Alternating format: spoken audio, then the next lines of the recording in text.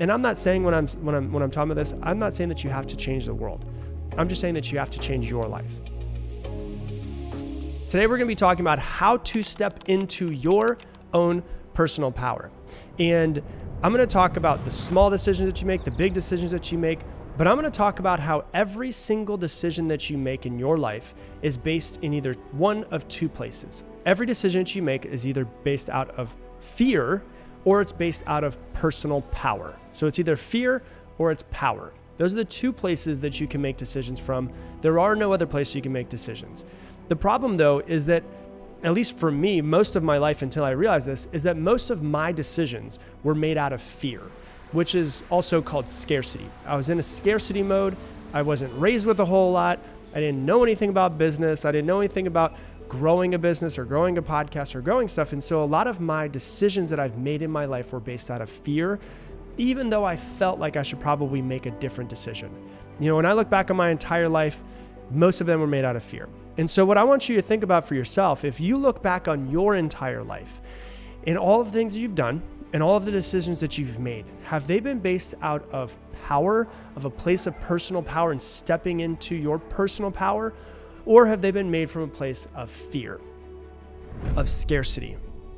Have they been made from a place of, oh yeah, I won't do this because it costs too much money. I won't invest into myself because it costs more money. I won't start that business because I know it's going to cost me money to do. You know, those are based out of fear. And when we talk about fear, you have to realize that fear is a good thing and fear is also a bad thing because fear will show you the edge of your comfort zone and show you where you're on the edge of your comfort zone. So if you want to push past it, you continue to keep going. Or fear, if you listen to it, is a bad thing because it will keep you in the exact same place that you're in. And fear was a great thing for our ancestors. It kept them alive 100,000 years ago when they had to be fearful of possibly walking by a bush and a lion being in there. So that fear kept our species alive. But now, today, fear is actually one of the things that holds people back the most. And you may have heard me talk about it. I had a psychedelic journey a few years ago where I really realized that fear is the worst thing in the world because without fear, if we had no fear, there wouldn't be any wars, there wouldn't be any killings, there wouldn't be people that were looking at people that didn't look like them or act like them and, and hating them. Fear holds people back from making a true connection and really growing. But also, fear holds people back from starting the business that could possibly change the world or cure cancer or be able to change global warming. They're just too fearful of actually taking that step. So if fear were not there, this place could be amazing. This could be a utopia. This could be just an amazing place that we could live in, but fear holds us back. When I look back on my life, a lot of my decisions were made in fear. What I realized is I got to a point in my life where I looked at my life and I didn't have the life that I wanted. I knew that there was more, and I knew that if I wanted to create the life that I wanted to create, I would have to step out of fear. I would feel the fear, but I would have to continue do it, doing it anyways. My decisions were all made to keep me in my comfort zone. At its simplest form, to keep me in the exact same position that I always was in. Why does it come from fear?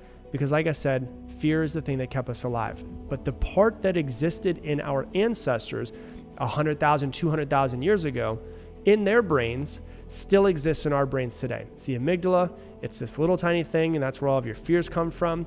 It keeps you alive. It is a great thing. But when there are no nothing to fear about, like lions attacking you, or running out of food, or running out of water, or you know, a animal attacking your child, when you have all of those gone, your brain still has the amygdala, and that amygdala will then create fears that don't even exist. Let me ask you something. Have you ever had you know, a moment of silence, you're sitting around and you're quiet, and your brain just immediately goes to fears.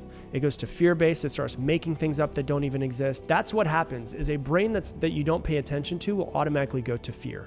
So how can you stop going to fear in everything that you do? And this is why it's very, very important for you, for me, for all of us, for every single person to become very self-aware. And I wanted you to think about all of the great decisions that have happened in this world, all of the amazing things that have changed the, the course of history think about all those great decisions. Now I want to ask you a question. How many of those great decisions do you think came from a place of fear? Don't worry, I'll give you a second. How many came from a place of fear? Probably none of them, right? I don't mean fear of death. I don't mean fear of like of, of being attacked. I mean fear of of I don't know if I can do it. Maybe I shouldn't do it. Maybe I should do this instead. I don't think that any great business, any Nobel Prize winner. Any of those things came from a place of fear. All of those came from some place of personal power. And these decisions are the decisions that we have that can completely change the course of our lives and the people's lives around us. And I'm not saying when I'm when I'm when I'm talking about this, I'm not saying that you have to change the world. I'm just saying that you have to change your life. These decisions of fear will make us play small. They will make us not live up to our potential. They will make us afraid of rejection. They will make us afraid of other people's opinions. They will make us afraid of what might happen if we step into the unknown. Those are all decisions that keep us playing small and they keep us taking the safe route and they keep us staying inside of our comfort zone. And you might be out there and you might have this amazing business idea that could completely change your life and maybe change the course of history. And it's out there and you have this idea and it's there and it's so close, but there's a feeling inside of your head of like, well, what if I what if I mess up? What if I what if I make an embarrassment of myself? What if I make an embarrassment of my family? And those thoughts will keep you from changing the world. Now let's go on even even smaller scale. Maybe you have this feeling of you want to go start a business and you're not sure what the business is, but you have this feeling of I want to go start a business.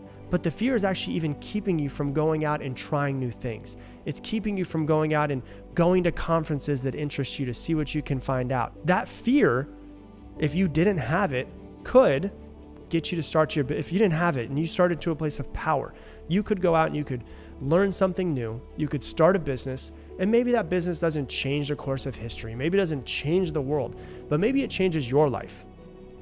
And if you have kids, or you have a spouse, or you plan on having kids and a spouse later on down the road, that will change their world.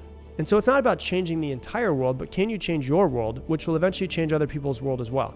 It's also another thing of like stepping into, you know, your own personal development and, and investing into that.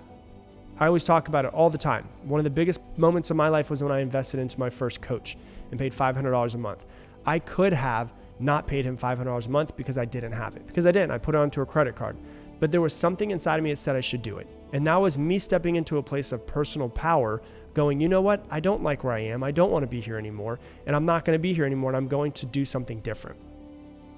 That thought that feeling completely changed the course of my life. And I wouldn't be doing what I do right now. I wouldn't be speaking to you, whether this is through a podcast, whether this is through YouTube, or whether it's through Facebook or Instagram. I would not be speaking to you right now if I didn't hire that guy. And that changed my life. And hopefully it's changing your life in some sort of way as well. You know, how many how many great decisions came from a place of no risk? Oh, I'm not gonna risk it.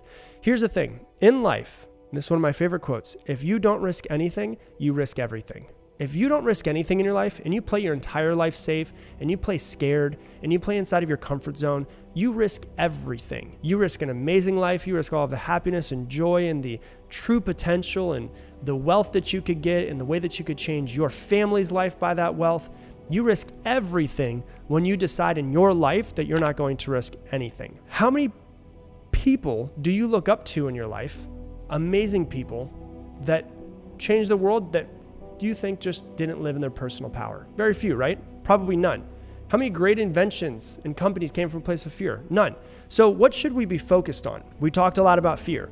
What should we be focused on? Is we should be focused on our personal power, stepping into a place where we know it's going to cause the greatest growth, greatest growth for ourselves. Is it going to be easy? No. Is it going to be uncomfortable? Yes. But is it going to help us grow? Absolutely. So that is what we need to be focused on. Stepping into who you could be and ultimately who you should be more than anything else. Will there be risk? Absolutely. There's gonna be tons of risks. There's gonna be tons of failures. There's gonna f up a lot of stuff. But that doesn't matter. What matters is who you come out on the other side. And it's the difference between your gut feeling and your brain feeling. Your gut feeling and your brain. Your brain is a, and you've heard me say this a million times, your brain is designed to do one thing and one thing only, and that is to keep you safe. Your brain is literally a fear based mechanism. It's what it does. It creates fear so that therefore it keeps you alive and keeps you inside of your comfort zone. But your gut feeling is that feeling deep down inside of your soul of like, I feel like I'm supposed to do this. And the tragedy of life is that too many people don't listen to that gut feeling and they don't step into their personal power. They don't step into who they could be. They don't step into their true potential. And then ultimately they get to the end of their life and they really regret that they didn't do what they ultimately should have done. They listen to fear more than they listen to their personal power. Everything that you want to do is going to require you to at some point step into a place of personal power. And you need to become very aware of when your gut feeling is pulling you towards something, when it's driving you towards something, or when you're coiling back and you're coming from a place of fear and you're not making that decision. And once again, I said this a minute ago, it's going to require you to become very, very self aware of what's going on. And that's the first thing that you need to realize is that you need to become self aware whenever you feel a certain way to take a step back get out of the jar so you can read the label. You know literally look at yourself as if you're a different person. Take out a pen and paper and say what am i feeling right now? You know what? I'm feeling pretty fearful. Okay why am i fearing fearful fear why am i feeling fearful right now? I'm feeling fearful because i feel like i don't want to work at my job anymore and i want to go start a business. Okay why does that scare me? Write down all the reasons why it scares you. It's okay to write down all the reasons why it scares you. And then you can also write down but what if i succeed what will happen. Oh, I could have this, I could have this, I could create this, I could impact these people's lives, I could start a charity, I could have so much money to donate. And you start to realize when you take everything out of your head and you put it onto a piece of paper that you could coil away, you could listen to the fear. But then you could fast forward 20 years from now and see what your life would look like if you decided to follow that route. So you ask yourself the question what would my life look like if I decided to not do this? 20 years from now, if I fast forward, what will my, my, my life look like if I don't do this?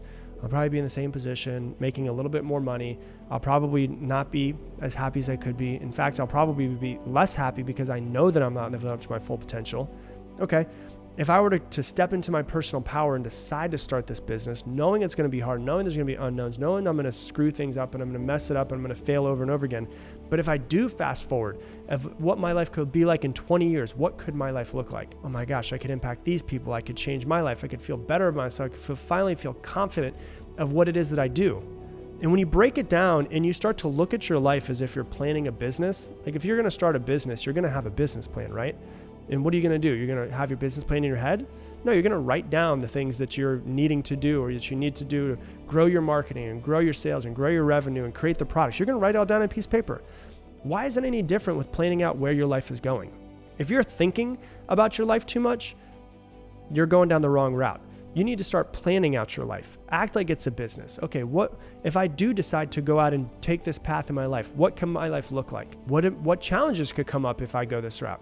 What could I do to make sure that I, I mitigate the risk with all of these challenges? So therefore I can work through them. What if my mom does say this about me? Well, she does say it about me. That's her own opinion, but I'm going to go through this route because it feels like it's what I'm supposed to be. So that's the first thing is become very self-aware. To take yourself out of the jar and read the label to put everything that's happening in your head on a piece of paper and work through them as if it was a business plan. And the second thing is to start becoming comfortable living on the edge of your comfort zone. If you've never lived on the edge of your comfort zone before, then it's going to be hard for you in the beginning.